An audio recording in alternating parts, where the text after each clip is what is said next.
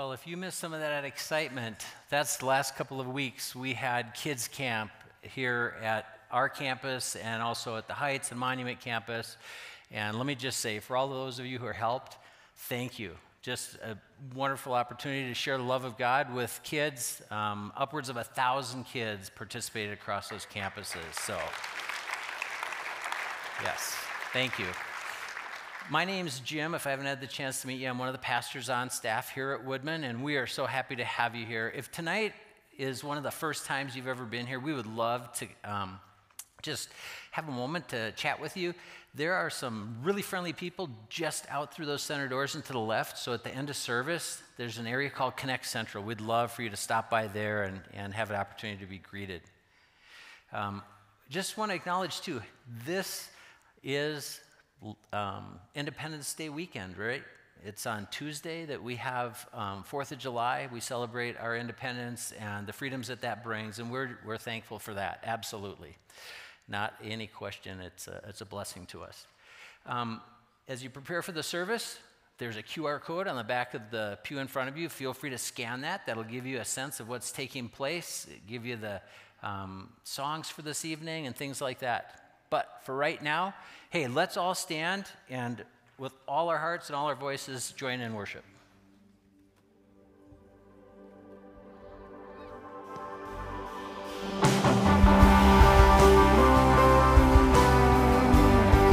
We're going to praise and worship Jesus for who he is and for what he's done.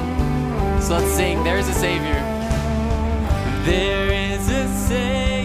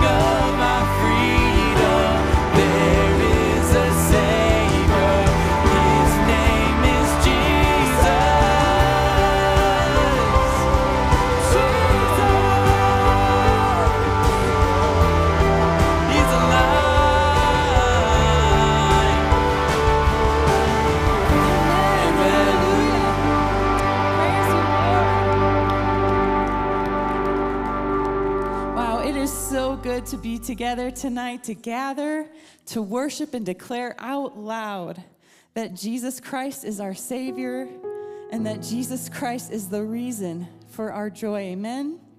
Amen. Well, if we haven't gotten to meet, my name is Casey, and this is Brent, and this is one of our summer interns, Liam, and it's a, a joy and a privilege to get to help lead this time of worship of God's people tonight.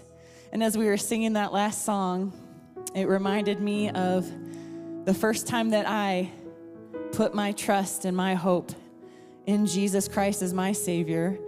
And it was over 20 years ago, which is crazy to even think about right now. And don't start trying to figure out how old I am. That doesn't work that way. But um, I, I just thank you, Jesus, when I think of who I was before I met him and how he has saved me from myself, from my sin, from the evil ways of this world, and how he has shown me his goodness and his mercy and his faithfulness, and that his ways are better. Man, it just makes me want to sing out and say, Jesus, thank you. We love you. I love you. I praise you. I worship you, for you are God. And so tonight in this room, surely there are a few of us maybe um, who are new, new to Jesus, maybe just visiting with a friend. And so if you're if you don't know who Jesus is, we're still glad that you're here and we invite you to come and and see who he is and learn about this God that we're singing to tonight. But I know that there are many in this room who can who can think about that that time when they put their faith and their trust in Jesus and who can reflect on their lives and remember who He has been to them and who He is and all He's done. And so, church, this is the time that we get to come together each week and to sing out our gratitude and our worship to Him because He's worthy of it. And remind ourselves and remind one another of all that He's done. So let's continue to sing, let's worship, and let's pour out our praise. Amen. Let's sing together.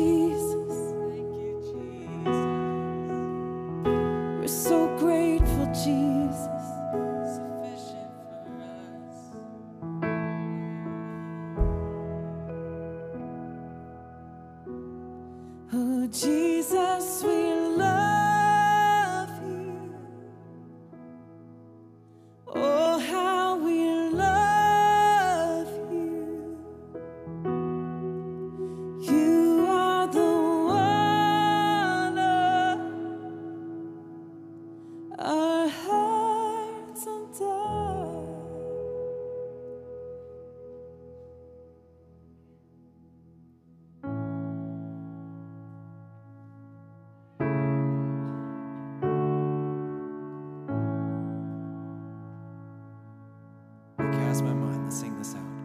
I cast my mind to Calvary, where Jesus bled and died for me.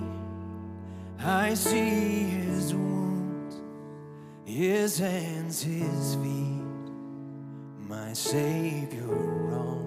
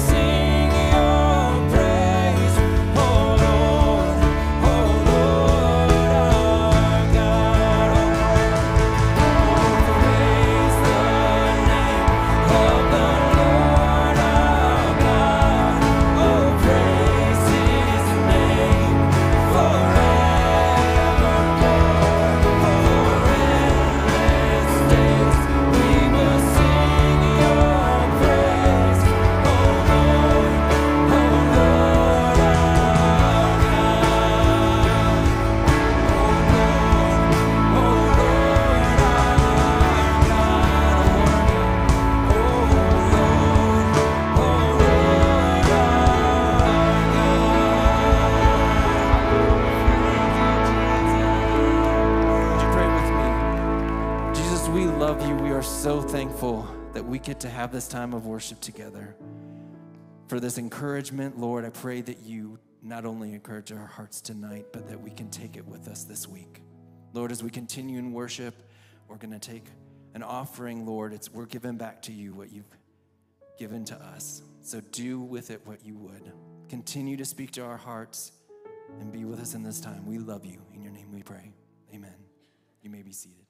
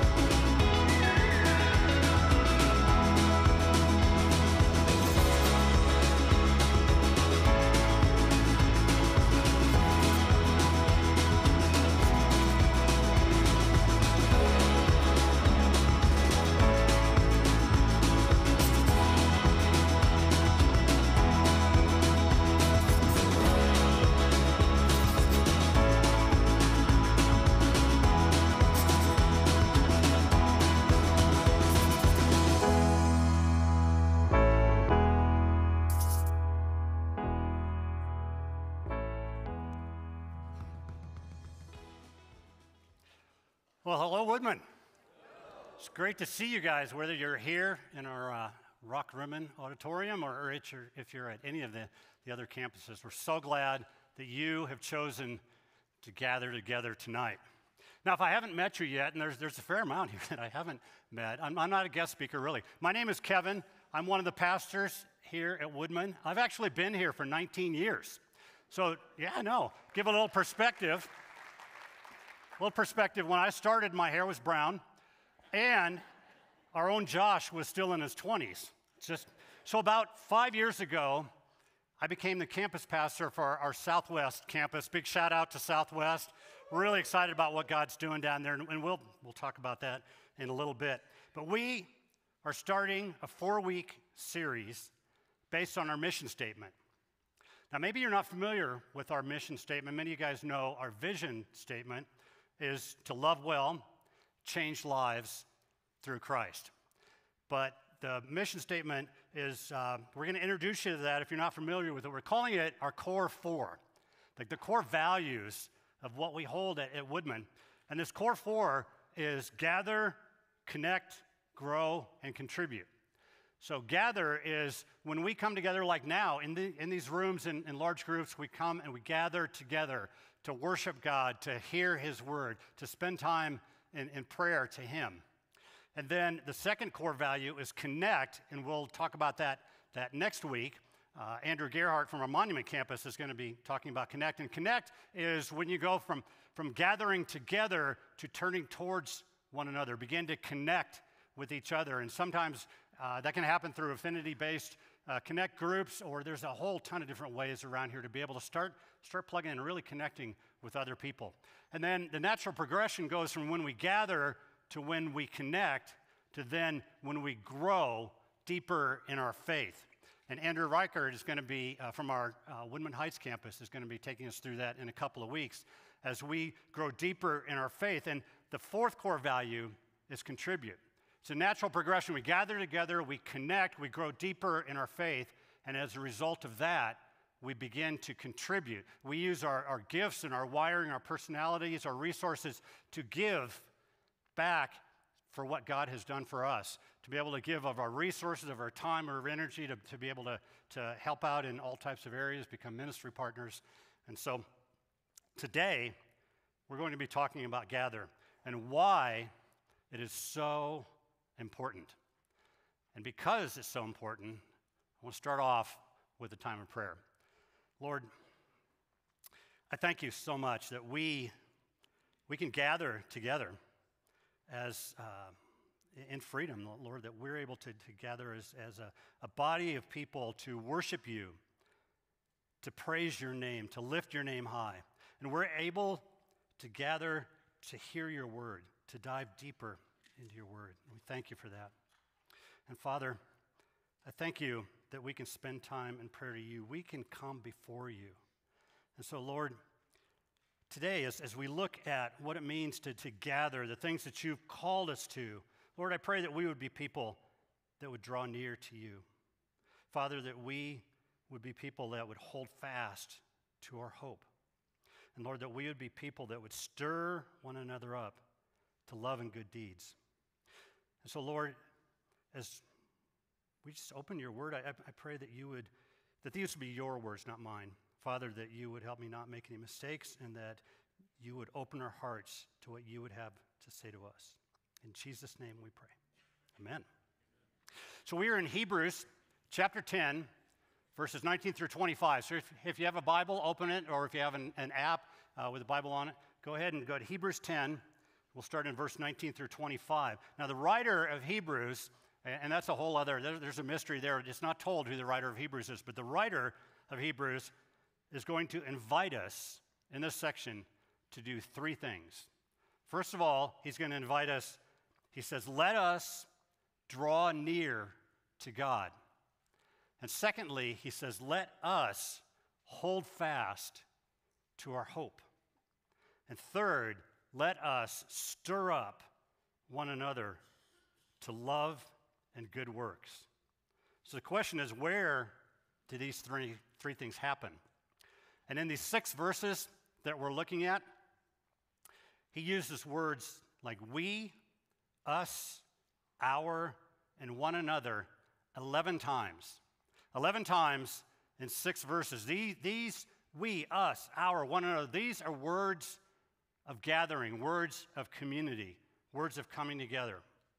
These three things that he's inviting us to all happen as we gather together. So, first of all, he invites us, he says, Let us draw near, verses 19 through 22. He says, Therefore, brothers.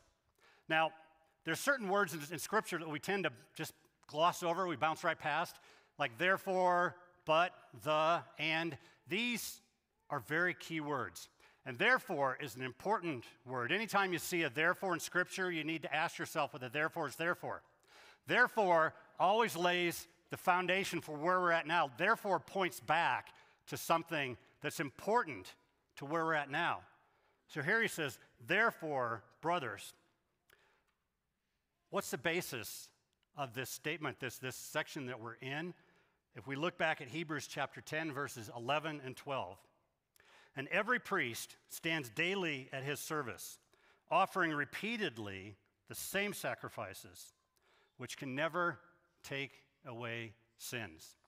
Now, think of the context here. Put yourself into this. You're, uh, you've grown up as an Israelite, as a Jewish person who has been steeped in the sacrificial system that has been going on for generations and generations, and they, were, they, they are carrying out the law. This is a commandment from God to do these sacrifices. And they would, the, the priests would stand daily offering sacrifices over and over and over. And they would offer up that the animal would be killed, their blood would be poured out for the sins of the people. But what would happen? The people would sin again. And the next day, there needs to be an offering for sin, and they would sin again. And the next day, and it would go on and on. And this is the amazing thing. He says, which can never take away sins.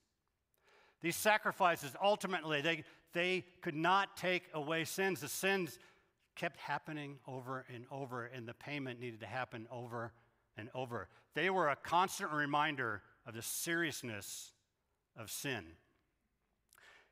Verse 12 but, again, a key word, contrast. He says, they offered the same sacrifice over and over, but when Christ had offered for all time a single sacrifice for sins, he sat down at the right hand of God. Where the priests were offering up sacrifices, there's actually a description in the Bible of the furniture that, that's, that's in the holy place. And one of the things, one of the pieces of furniture that's lacking is a chair. There was no chair in there because the work was never done. The priest could not sit down, he had to continually offer sacrifices over and over. But when Christ had offered for all time a single sacrifice for sins, he sat down at the right hand of God. We learn in Hebrews that, that Jesus Christ, the ultimate high priest, offered himself the ultimate sacrifice in the ultimate Holy of Holies. And then he rose from the dead, he ascended to the Father, and he sat down at the right hand of the Father.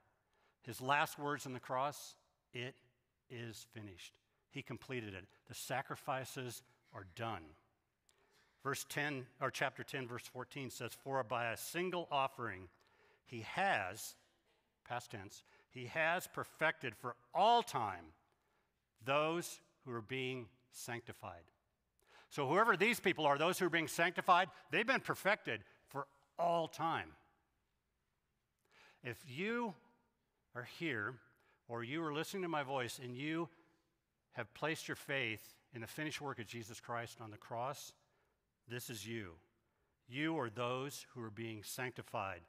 You are perfected for all time. See, this is, this is the bottom line. If you've placed your faith in Christ, there is no sin that is beyond his forgiveness. No sin. There's no failure that he cannot mend. There's no shame that it cannot heal. We are free. We are free to love and we are free to be loved. But do you believe that? That truth, if we believe that, that truth would change how we live in community, how we gather together. Verse 19, he says, Since we have confidence to enter the holy places by the blood of Jesus. He says, Since we, we, the people of the gathering, we have confidence to enter the holy places. It's plural. There's more than one place, one more than one holy place. There actually was two holy places in the tabernacle and in the temple. There was the holy place, and then there was a curtain that divided that from the most holy place, or the holy of holies. And the holy place was a place of ongoing sacrifices. Again, no chair in there. The work was never done. And only priests were allowed in. Not you and not me. Only the priests were allowed in to offer the sacrifices. And then the most holy place, the Holy of Holies, represented the very presence of God. And only one man could enter the Holy of Holies. And that was the high priest, and only one day a year on the Day of Atonement. And he says that since we have confidence to enter the holy places by the blood of Jesus. Now, think about this. We, who, who could come into the presence of God? One man, one day, out of the entire nation. And now all of a sudden, we, the gathered people, can come into the presence of God by the blood of Jesus. Jesus Christ has come for every single one of us. We have been separated from God because of our sin, and we can't ever be good enough to overcome that. We can't do anything to make it right. And because I couldn't come to God, God came to me. He sent His Son to pay for my, my sins, every single one of them, to set me free. And Ephesians 2 8 and 9 says, For by grace we have been saved through faith, and that not of ourselves. It is the gift of God, not as a result of works, so that no one can boast. God has sent his son to pay for you, to pay for me. And because of that, we can be free. Verse 20 by the new and living way that he opened for us through the curtain, that is, through his flesh. When Jesus died on the cross, at the moment of his death, that curtain that divided the holy place from the Holy of Holies was ripped in two from top to bottom. Jesus opened the curtain, he threw the door wide open. He made a way for me and for you to enter into the holy presence of God. In verse 21, he says, So he said, Since we have confidence to enter the holy place by the blood of Jesus, and since we have a great high priest over the house of God. So, what is a house of God? Some people think it's, it's a building, it's some kind of edifice. It's not, it's you. It's all of us in these rooms. We are the house of God. And Jesus, the ultimate high priest, is over this house. So here's a question Why are you here? Why are you in one of these auditoriums today? There's a hundred different reasons. My parents made me come. That one's got to be accompanied by an eye roll. My wife says it's important for our family, so I'm going to come. Girl says my boyfriend is cute and he wants me to come, so I'll come. Someone says I love the worship time, I just love singing. Someone else might say, I, I want to learn the Bible. Or maybe I'm trying to figure out what this whole Christianity thing is all about. There are hundreds of reasons that people could give, but I believe that every person in each of these rooms is here for two reasons. We need God and we need people. We need God and we need people. We have gathered because we need to gather. It matters. So, since we have confidence to come before God Himself, and since Jesus is a high priest over the house of God, His church, verse 22 let us draw near with a, full, a true heart and full assurance of faith. So, because the perfect high priest has offered the perfect sacrifice that opened the curtain to the very presence of God, we can draw near to God. Do you have a full assurance of faith that you, with confidence, can draw near to God? The curtain's been opened up, but are you willing to come into his presence? And if not, what's stopping you? Is it guilt? Is it shame? Maybe you just think it's too easy, it's, it's too good to be true. Maybe it's unbelief. He says, Let us draw near with a true heart and full assurance of faith, with our hearts sprinkled clean. The blood of the sacrifice was, was the priest would sprinkle the blood on the altar. Jesus sprinkled his blood on our hearts. He has made us clean. He has made you pure. Our bodies washed. The priests had to wash their hands and their feet in order to per, uh, do their priestly offerings. They would make themselves clean by their own hands. We are made clean by the work of Christ. It is a gift. Now we have direct access to God. Not once a year, not once a day, but every moment. We have direct access to God. Years ago, I was, before I was a pastor, I was in the high tech industry. I was a defense contractor, and I worked out at uh, what was then called Falcon Air Force Base, which is now Schriever. Uh, and the, I don't know what the security stuff is like now, but when I was there, the way we would get in uh, is we, you'd have to walk up to these, these, like they were phone booths, kind of. And so you'd uh, swipe your card, and the door would open, and you'd step into this, this booth, and the door would close. I'm a bit claustrophobic, so the, the, the idea of this thing, I, am hoping one of these doors is going to open again, but, but then uh, you're in this, this little booth, and it would weigh you. I'm serious. And then you would look into this thing, and it would scan the retina in your eyes, and if everything matched up, the other door would open, and you would have access into the facility. If you have placed your faith in the finished work of Christ, you have the right credentials. You have access into the throne room of God. You can come directly to God not because of anything you've done, but because of what Christ has done for you. Now, we have an opportunity to come before God in praise, adoration, and prayer. On July 12th, we will have a night of worship and prayer. And I encourage you guys to put this on your calendar. July 12th, it's 6:30 right here in this Rockrimmon Auditorium, a night of worship and prayer. Now, the writer has encouraged us to draw near, and now, now he encourages us, he says, let us hold fast. Let us hold fast the confession of our hope. Hope is the main theme of the book of Hebrews. These people have come out of a sacrificial system for generations, but these sacrifices could never take away sin. And the point of Hebrews is that the ultimate high priest has offered the ultimate sacrifice and the ultimate holy of holies. It is finished, it is done, they are completed. There's no need for these sacrifices to go on and on. There is hope. Hebrews is a book of hope. And he tells us, let us hold fast the confession of our hope. Our confession is a confession of hope. We gather as people to raise our voices in praise. It's a corporate confession of hope. And we are people of hope. And we get to come together side by side to sing of that hope. And he says, Let us hold fast the confession of our hope without wavering.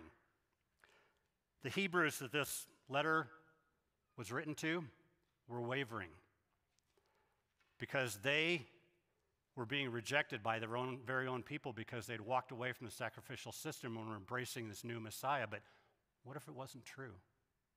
What if it's not real? And they were wavering, they were questioning. When we gather, we spend time in God's Word. It keeps us from wavering, it gives us direction, it helps us to hold fast.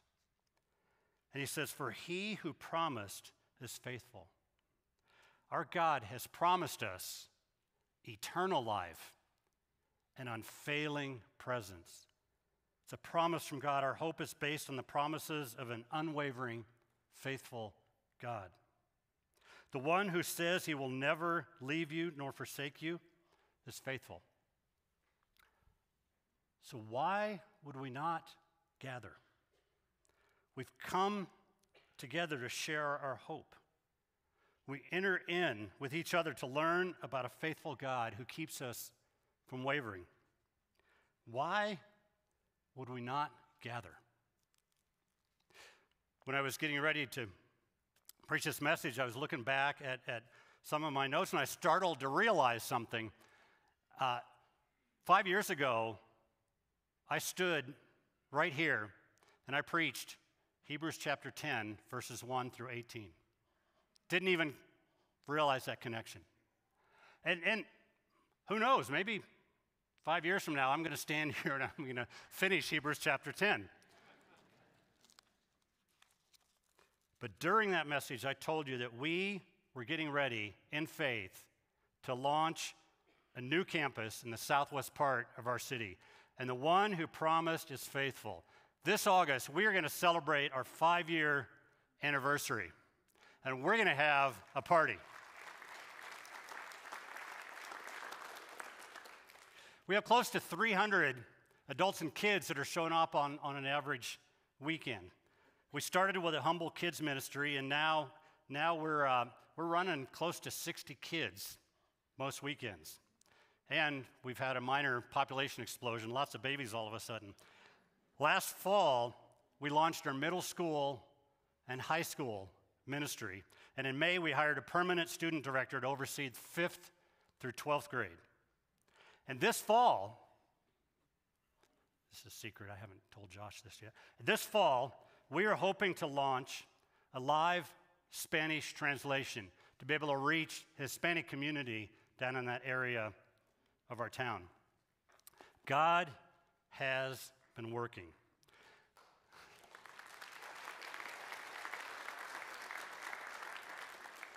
Now, we don't have the big stage and, and we don't have the, the large band.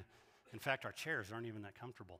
But the people who come to us are looking for a place where they can be known, a place where they can be vulnerable, where they can be seen. And God is transforming lives. Let me tell you just about one.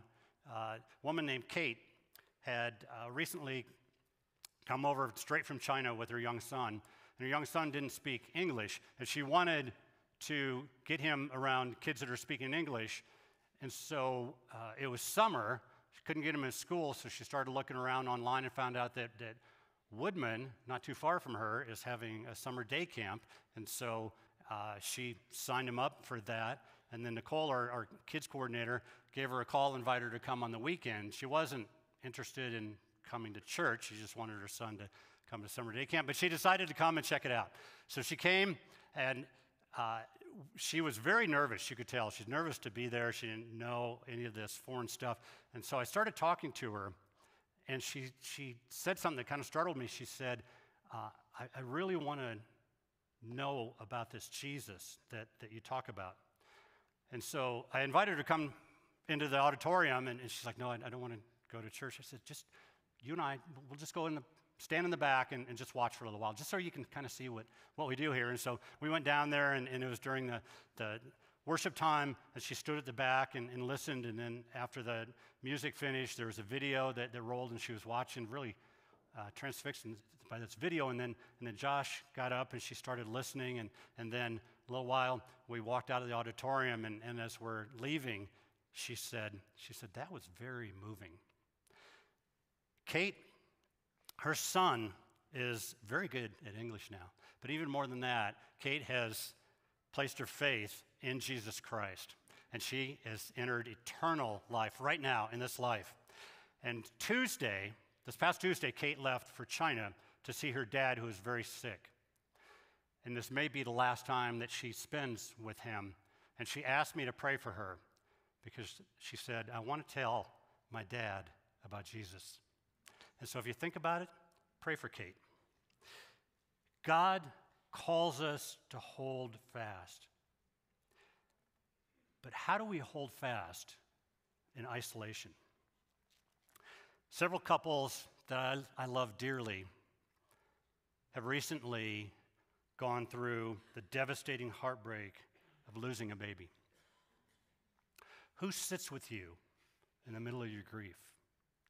If you live in isolation, if you're not part of a gathering. When the doctor says the words that you never wanted to hear, when the one you love looks you in the eyes and tells you they no longer love you, when you just can't take another step, who holds your hand? Who sits with you if you're not in a gathering of people? It's your community. We gather to do life, to lift one another up. The writer of Hebrews has encouraged us to draw near, to hold fast, and now he invites us, he says, let us stir up. Let us consider how to stir up one another to love and good works. That stir up means to provoke, but not provoke to anger, to provoke to action. We are called to stir up, to provoke each other to two things to love and to good works.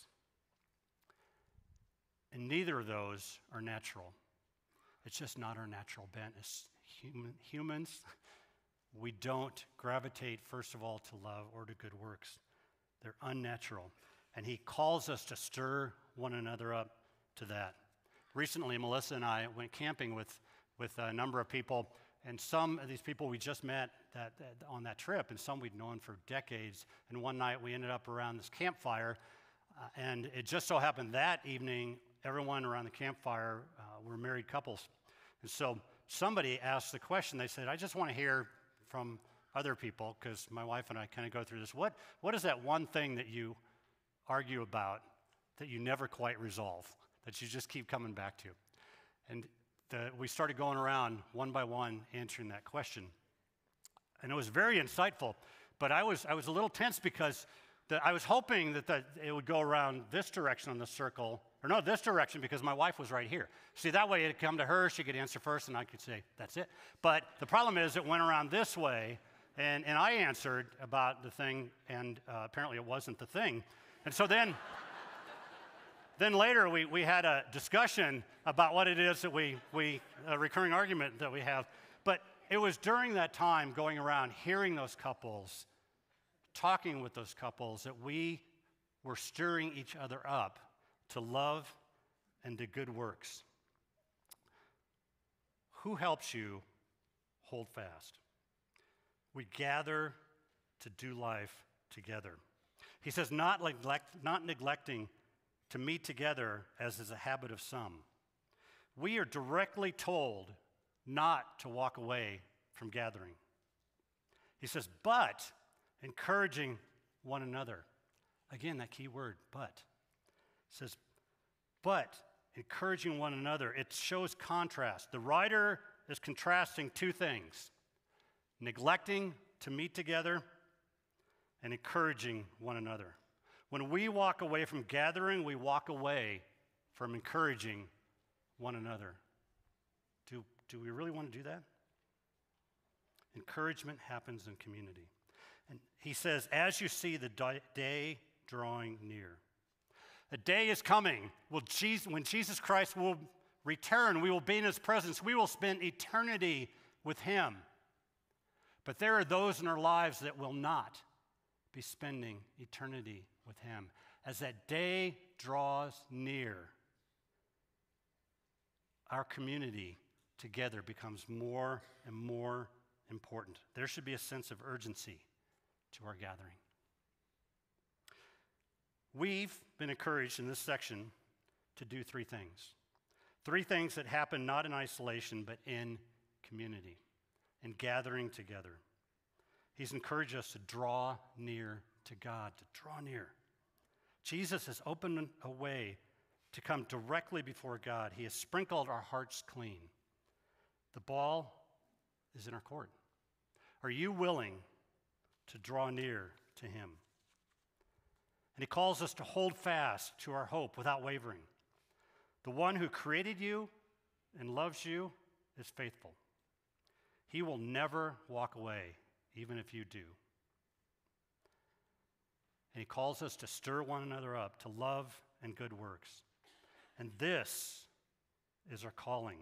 When we gather, it's not simply a social event, it's a responsibility to call one another to love, a duty to stir one another to good works. In a culture that's driven to isolation, let's be countercultural.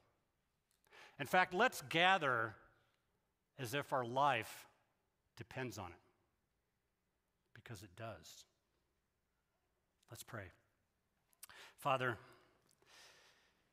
it's such a privilege that we have to be able to come together, to be able to gather as the people of God, to gather together to worship you, to praise you, to learn who you are, Father, so that we can hold fast, to come together to stir one another up, to love and good works. Father, it's, it's an incredible responsibility, and yet, so oftentimes we take it so lightly. Lord, you are the one who calls us to this. In fact, you very clearly tell us to not forsake the gathering together as is a habit of some, that we should come together, that we should encourage one another. And so, Lord, I pray that we would be people who, who would long for you, who would long to know you, to praise you, and then because of that, that we would long to encourage those around us because of who you are and the hope that we have. In Jesus' name we pray. Amen.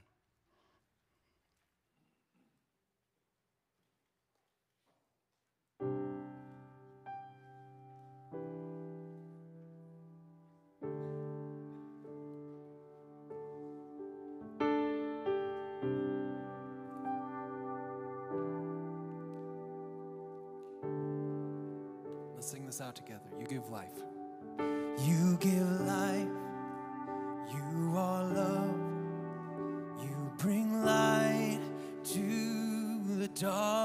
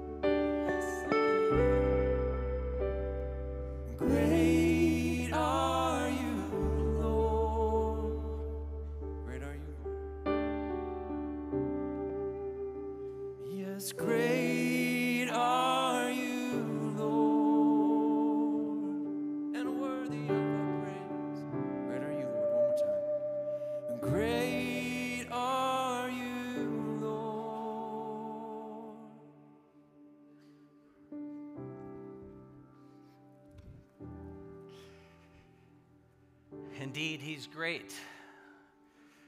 As Kevin pointed out, we gather because we need God and we need people.